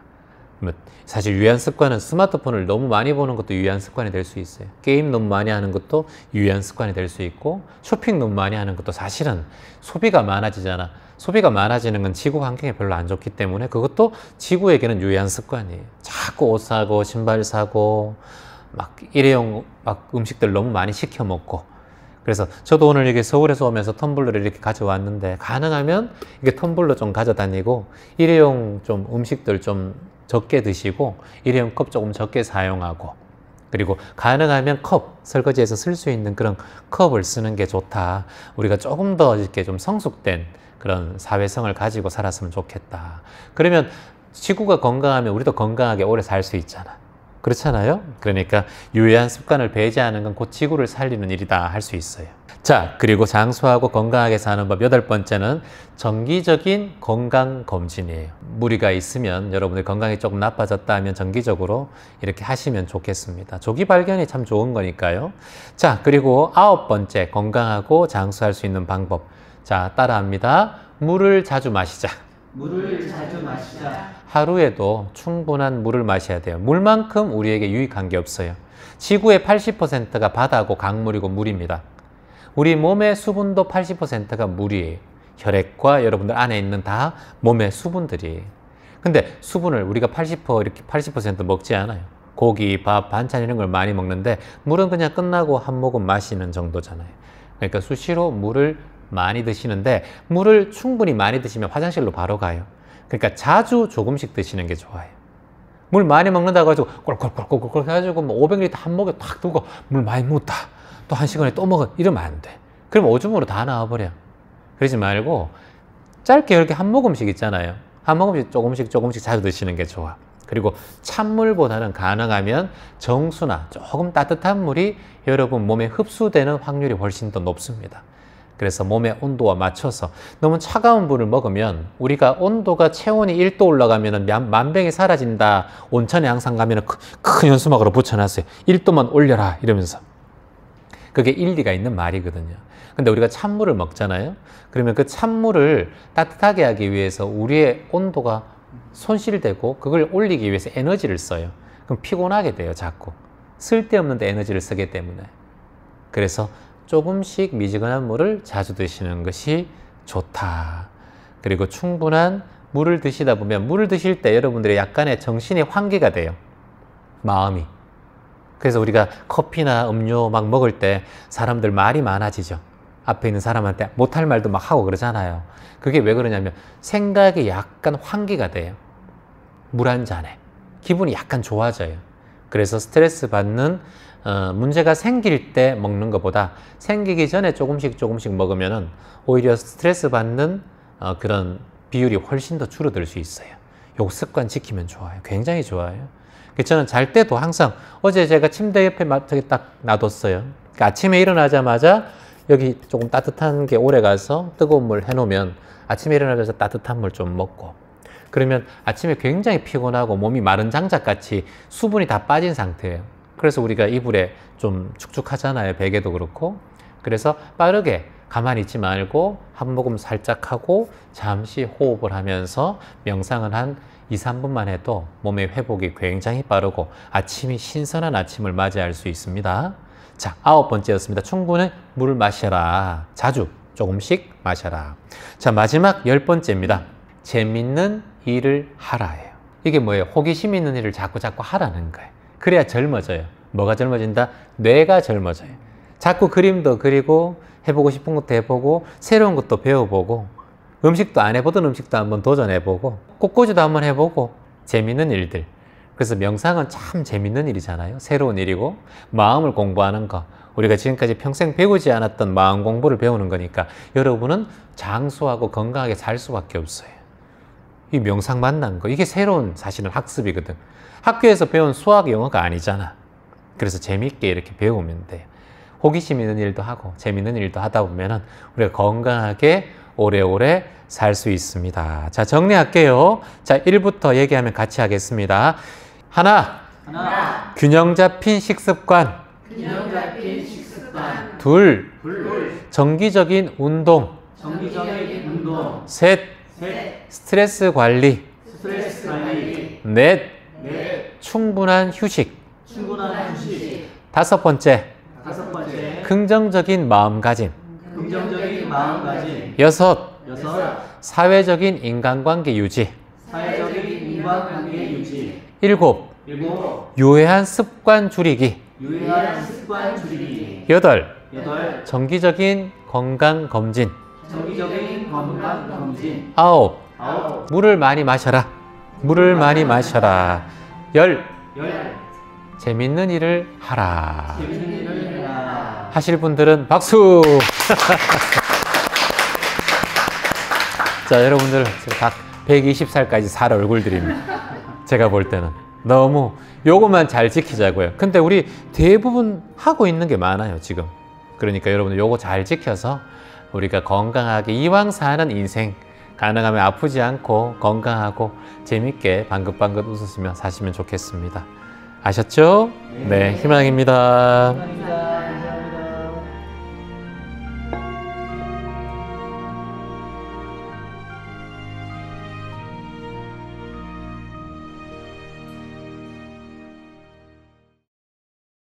살아가다 보면 인간은 항상 감정 속에서 움직여요. 감정이 없는 사람이 있을까요? 없을까요? 없어요. 감정이 없는 사람은 뇌를 다친 사람이에요. 식물 인간들은 감정이 없어요. 우리는 신경이 있으면 다 감정이 있어요. 아픈 감정, 좋은 감정, 희노애구, 애호욕이라고 해서 희는 즐거운 감정, 노여운 감정, 애 미운 감정, 애 구, 구 두려운 감정, 애 사랑 감정, 오, 오 미워하는 감정, 욕심에 욕심이 올라오는 감정 이렇게 칠정이 있어요. 일곱 가지의 감정. 이 감정 속에서 매 순간 회전한다고 보시면 돼요. 여기 이제 따님과 엄마가 왔고 또 어, 본인의 삶을 살아가고 있는 엄마와의 또 문제 때문에 왔는데 엄마도 또 여기 계시고 하지만 엄마가 자식이나 엄마의 감정이 항상 좋을 수가 없잖아. 그렇잖아. 그리고 항상 나쁠 수도 없어. 또 엄마라는 존재가 있기 때문에 내가 태어났기 때문에 뿌리가 있다라는 걸 느끼는 것과 뿌리가 아예 없는 고아원에서 자라는 친구랑은 또 다르거든. 근데 이게 너무 가까이 하다 보니까 서로가 집착하는 마음이 있어. 우리 무의식 안에. 집착하는 마음이 있다 보니까 집착하는 마음의 가장 중요한 건 이 사람이 나를 이해해 줬으면 좋겠다라는 생각이. 이게 집착이에요, 여러분. 집착. 그 사람이 사람을 이해하는 게 굉장히 힘들어요. 여러분은 스스로 마음을 잘 이해할 수 있어요? 밤에 야식에 먹고 싶은데 먹으면 안 되는데 자꾸 땡길 때 있잖아. 그 집착이 올라올 때 있잖아. 하나만 먹을까? 시켜버릴까? 배달의 민족이 막 킵해 놓고 막 보관함에 막 저장되어 있고 쿠팡에 막 저장되어 있고 이러잖아요. 장바구니가 터지, 터져 나가잖아요. 똑같아요. 근데 또 다음날 아침에 감정이 달라지니까 아이고 잘 안 먹었다. 또는 잘 안 샀다. 충동 구매 안 했다. 이게 감정이거든. 이게 다 소유욕. 엄마가 나를 이해해 줬으면 좋겠다라는 집착과 소유욕. 딸이 나, 엄마를 좀 이해해 줬으면 좋겠다라는 집착과 소유욕이에요. 그래서 이게 가까운 가족 사이에 더 많이 일어나요. 특히 자녀와 부모 사이에. 배우자와 배우자 사이에. 근데 이제 우리가 명상을 하고 수행을 하는 사람은 항상 깨달아야 되는 게 요 감정 무상이라는 거예요. 무상. 무상이 뭐냐면 항상 하지 않다는 거예요. 계속 바뀐다는 거예요. 이 감정이. 요 밑에 짜장면 집이란 말이에요. 그러니까 오늘 저녁에 짜장면 먹고 내일 아침에 여러분 또 짜장면 먹으면 여러분 안 먹어요. 그럴 거야. 아마. 똑같아요. 맛있거든. 맛있게 먹고 그 다음날 또 먹으라면 또 중국 음식 말고요. 이렇게 된단 말이지. 그래서 처음에 먹을 때는 맛있는 감정을 우리가 알아차리면 되고 내일 또 먹을 때는 맛없는 감정이 또 올라온단 말이에요. 그러니까 우리가 이렇게 감정이 바뀐다. 근데 내가 내가 배 아파 나, 나를 낳아준 아버지, 어머니, 부모, 자식, 형제, 배우자 이 사람한테 일어나는 감정은 더 심해 음식보다.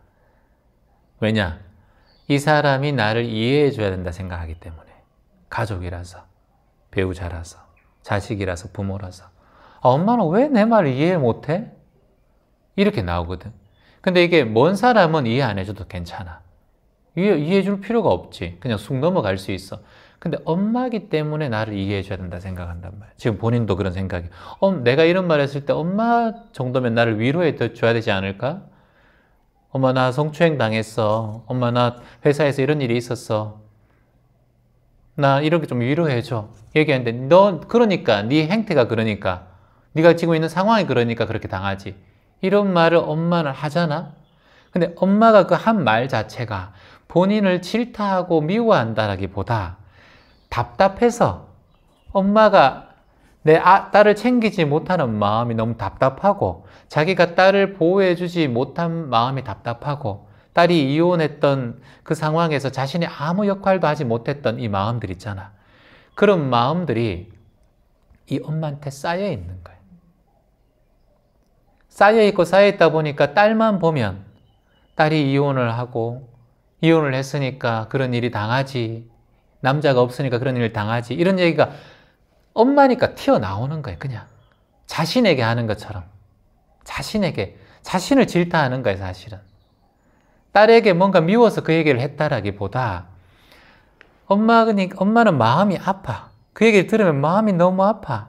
그런데 딸이기 때문에 모질게 얘기하면서 자신에게도 상처를 주는 거예요, 자꾸. 응? 상처를 주면서 엄마로서 너를 지키지 못한 거, 우리 딸을 이혼하지 못하게 만들지 못했던 거, 우리 딸이 이혼을 선택할 수 없었던 거, 이게 모두 자기 탓처럼 느껴지는 거예요, 모든 게 다. 그러다 보니까 자식만 보면 답답한 거예요. 그러니까 엄마는 자, 자식만 보면 억울한 마음이 막 튀어나오는 거예요. 부정적인 말이 막 튀어나오는 거예요. 근데 딸은 이혼해서 상처를 받고 아이도 키우면서 그래도 잘 키워가지고 아이들 잘 키웠는데 칭찬해줘야 되는데 엄마는 마음 공부도 모르고 아무것도 모르니까 그냥 엄마가 딸은 마음 공부를 했으니까 그냥 엄마한테 얘기를 하는 건데 엄마는 그냥 그 에고 속에 감정 속에 있는 거예요. 근데 그게 딸을 미워해서 얘기하는 건 아니야 진짜. 그건 아니라는 거 알아야 돼 본인도. 딸이 진짜 미웠으면은 말도 하기 싫을까? 그럼 말도 안 해. 아, 꼴도 보기 싫다, 가. 말, 말하기 싫다, 이렇게 가, 이렇게. 그 본인에게 상처를 주면서 본인이, 본인에게 죄스러워서 그냥 본인의 거울을 대고 하는 말이라고 보면 돼. 그래, 엄마 너무 미워할 필요 없어요. 불쌍해, 불쌍해, 엄마도. 음. 그러니까 오늘 마음껏 울고 가야 돼. 근데 이제 딸은 가슴 아프지. 왜냐하면 딸은 상처를 받은 입장에서 엄마한테 얘기하는데 엄마는 돼지고 바다잖아. 그럼 보통 되게 꼭 안아주면서 아무 말도 하지 말고 그래 괜찮다 괜찮다. 사실 그렇게 해줘야 돼 엄마는. 그리고 나중에 질타를 하도록 나중에 얘기해야 돼 여러분. 여러분 친구가 앞에 와 있는데 친구가 뭐 사고를 쳐서 왔든 뭐 짜증을 뭐 되게 내든 간에 그 친구가 그때는 잠시 친구라면 안아줘야 돼요. 그걸 잘 잘못 니, 니 잘못했네. 너 그거 잘못했는 거니 맞아. 그, 야, 그건 네가 잘못했고 그 사람은 그 잘, 잘못했고 이걸 따지려고 친구가 친구한테 얘기하는 거 아니야. 그냥 잠시 잠시 친구한테 위로의 말을 듣고 싶은 거예요. 그 돈 안 들잖아. 그러면 짧게라도 한 10분 정도라도 꼭 안아주고 그래 그랬구나. 참 힘들었겠다. 아이고 어떡하노 그래. 얘기해주고 아이고 얼마나 힘들었노. 상처 많이 받았겠다. 그래 실컷 얘기해. 친구든 배우자든 친구도 있잖아. 그렇게 얘기하면 좀 실컷 얘기하고 마음이 좀 풀리면 어, 그때 이제 얘기하는 거야. 그래도 잘 생각해 라고 얘기하고 보도도 이제 북돋아 주고 난 다음에 모든 것은 인연법이야 라고 얘기해야 돼. 인연. 인연법에 의한 거야. 너 잘못만도 아니고 그 사람 잘못만도 아니야. 이렇게. 인연이 되어졌기 때문에 이런 일들이 일어났어. 그러면 우리가 다음부터는 이번에 만들어진 게 첫 번째 화살 맞았다면 다음부터는 두 번째 화살은 맞지 말자 우리 친구야. 응?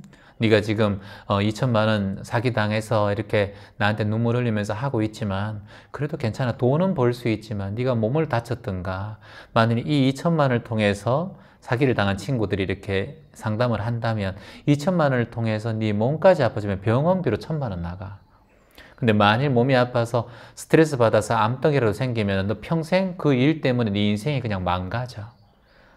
지금 오늘 실컷 울고 실컷 마음 얘기하고 물론 힘들겠지만 이 일로 인해서 다시 한번 우리가 더 땅이 굳어진다 생각하고 다시 한번 해보자. 돈은 또 벌면 되지 않느냐. 이렇게 탁 말하는 게 친구야. 또 자식도 그렇고 자식이 힘든 상황에 있더라도 아, 왜 바보같이 그렇게 보증을 썼노? 왜 바보같이 그 500만 원만 하지? 왜 또 천만 원 했노? 자꾸 이렇게 엄마들은 얘기를 한단 말이야. 배우자들도 얘기하고. 가지 마라 그랬잖아. 이렇게 자꾸. 근데 이미 한 걸 어떻게.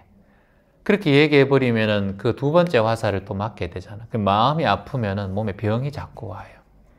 일단 마음이 자꾸 고통스러우면 여러분 혈액순환이 안 돼요. 그리고 두 번째 두통이 자꾸 오고 세 번째 위장이 장애를 자꾸 일으켜요. 위장에 장애를 일으키면 결국은 소장, 대장이 영향을 받고 변이 잘 묽게 나오든가 변비가 생기든가 잘 안 돼요. 그때부터 탈이 나기 시작해요. 몸뚱아리가. 무서운 거예요. 그래서 정말 사사롭게 생각하면 안 돼요. 작은 스트레스라도 빠르게 벗어나셔야 돼요. 그럴 때는 빠르게 벗어나셔야 돼요. 그러니까 계속해서 기분 좋은 것도 병이에요. 계속해서 우울한 것도 병이에요. 병이라기보다 저는 병이라는 말을 안 쓰는데 증상들이라고 할 수 있어요. 근데 좋고 안 좋고가 너무 기복이 큰 것도 이게 조울이에요. 음. 근데 이제 본인은 간헐적으로 뭐 정신이 조금 아프기도 하고 마음이 답답할 때도 있고 그리고 또 건강하다가도 갑자기 좀 어디가 아플 때도 있고 이런 거는 24살이기 때문에 왔다 갔다 왔다 갔다 계속 이렇게 해요. 나이가 들면 들수록 더 많이 왔다 갔다 해요, 이거. 음. 우리도 지금 여기 앉아 있어도 어디가 아프고 다 아파요. 그래서 나이가 들면 한 50 정도 되면 움직여도 아프고요. 안 움직여도 아파요. 그러니까 그냥 뭐 움직이는 게 낫겠죠. 운동이 되는 거니까. 근데 만일 이제 예를 들어서 내가 그게 심각하게 오래 간다면 그거는 본인의 건강을 검진해 보고 정신적인 검진도 해 봐야 돼요. 보통 그게 2주 이상 계속 간다면. 어, 그게 아니라 간헐적으로 조금씩 아프고 조금씩 마음이 답답하고 이런 거는 누구나 다 있어요. 인간 누구나. 나에게만 있는 것이 아니다라고 알면 돼요. 중요한 것은 어, 배우자든 자식이든 부모든 욕심을 내면 안 돼요. 부모에게. 내가 예를 들어서 지금 엄마 나 초행을 당했어 또는 내가 뭐 사기를 당했어 엄마 내 마음을 아팠, 아팠어 엄마한테 얘기할 때 엄마한테 그것을 내가 회복하려고 하는 게 욕심이에요. 엄마한테. 엄마는 그걸 회복시켜주는 사람이 아니에요 내가 저번에 그랬잖아요 부모님한테 바라지 말라고 부모님은 이제 깡마른 나무라고 깡마른 나무라 깡마른 나무한테 자꾸 물을 달라고 하면 안 돼. 고통을 겪을 만큼 겪었던 분이들이기 때문에 삶의 지혜보다 강 말라가지고 아무것도 물 한 방울 나지 않는 나무 마른 장작 같은 게 부모야. 근데 우리가 물이 더 많단 말이야. 근데 자꾸 우리가 부모한테 그늘을 달라고 하고 양분을 달라고 해. 안 돼. 그 욕심이에요. 응? 그걸 주면 좋은데 그게 안 된단 말이에요, 잘. 근데 100에 한 뭐 몇 프로는 될 수는 있어. 그리고 또 뭐 그런 부모도 있긴 있어. 근데 그런 부모와 비교할 수는 없지. 왜냐? 우리 부모인데, 뭐 우리 부모는 그렇지 않은데 내가 남의 부모랑 왜 비교를 해? 그래서 우리가 탐욕이나 욕심, 집착을 격렬한 불꽃이라고 했어요. 그걸 딱 마음을 올리는 순간 너무 격렬하게 휘발유 붙는 것처럼 탁 불씨가 붙어버린다고. 그래서 마음이 탐욕을 딱 일으키면은 그냥 촛불 하나에 휘발유를 탁 붙는 거랑 똑같아. 그러면 그때부터 엄마에 대한 미움도 올라오고 나의 삶에 대한 미움도 같이 올라와요. 그냥 엄마가 어떤 말을 하든 내 얘기를 하는 거면 괜찮아. 근데 엄마가 내가 얘기를 했을 때 엄마가 위로해 주기를 바라는 거 욕심이에요. 아무 얘기 안 해주기를 바라면 좋은데 들어주기만 하는 거. 들어주지 못해. 엄마가 깨닫지 못했기 때문에. 그것도 문제거든. 그리고 두 번째 화나는 거. 그러니까 엄마가 그 얘기를 듣고 화를 내잖아. 자꾸 화가 나거든. 그런 얘기 들을 때 화가 나는 것보다 더 큰 폭풍은 없어요. 화가 엄청난 폭풍이란 말이에요. 다 휩쓸어 버려 화가 그래서 탐욕과 지금 화를 얘기했잖아요 탐욕은 너무 격렬한 불꽃과 같고 분노는 폭풍과 같다. 그래서 이것을 어, 누군가와 대화를 하든 누군가와 만나든 누군가를 대상을 인연이 되든 간에 내가 아무것도 바라지 말고 얘기할 때는 나는 마음이 편안해져요. 음, 어떤 얘기를 하든 상관없어요. 왜냐하면 내 욕심이 없기 때문에 화가 안 올라와요.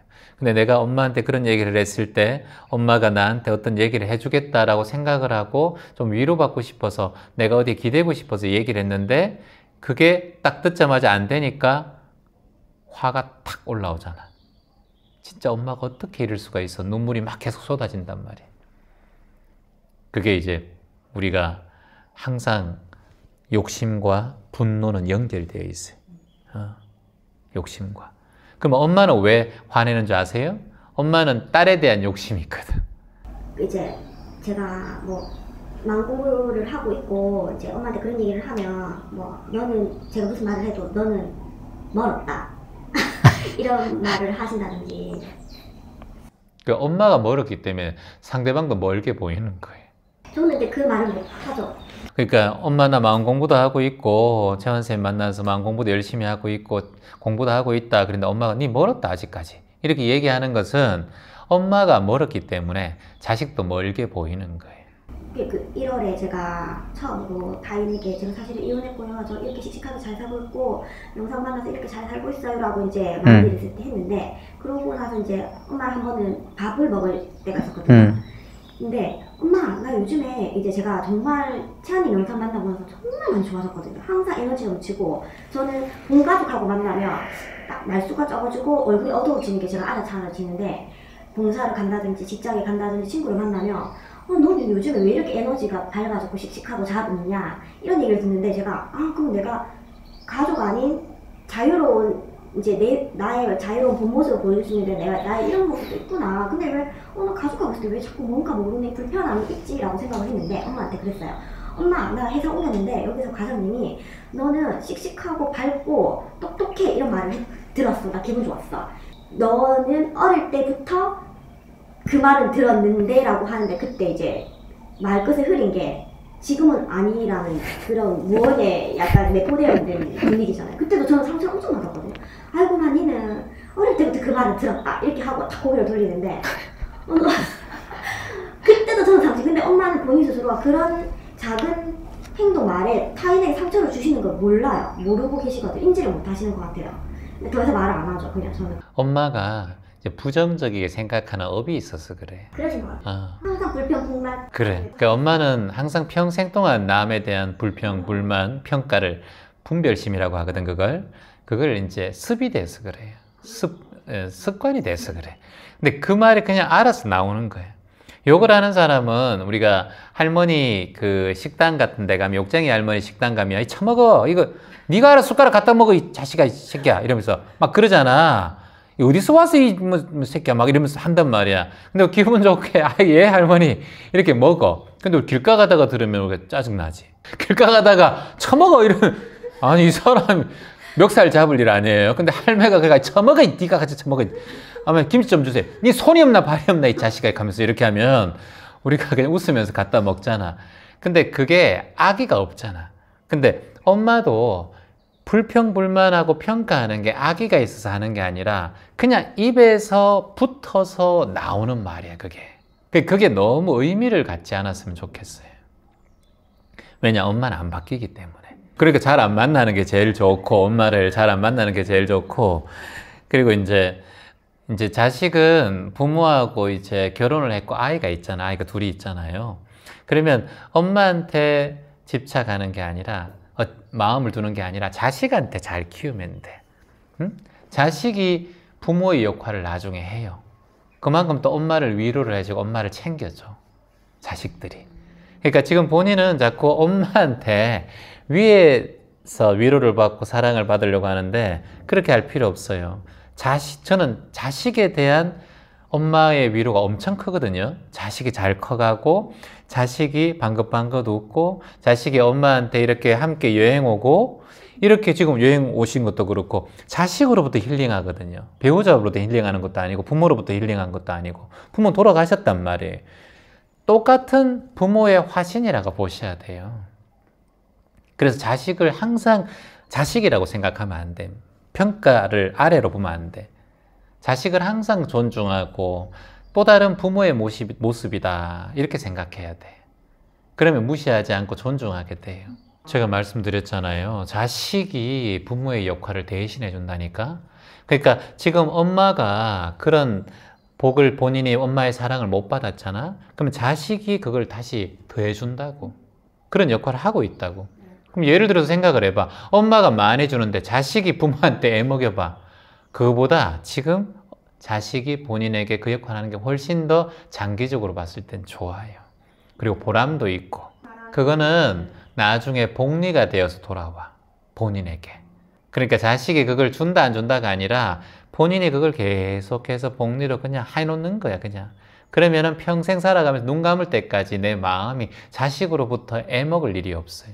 그보다 더 좋은 게 어디 있어? 자식이 잘 살아가면 얼마나 좋아. 효도하라는 게 아니라 자식이 사람들 자음 사람 만나서 어 그냥 지 인생 지가 살고 결혼을 하든 안 하든 지가 행복하게 방긋방긋 웃으며 살면 그보다 더 부모가 행복한 게 어디 있어? 어? 그게 복리지.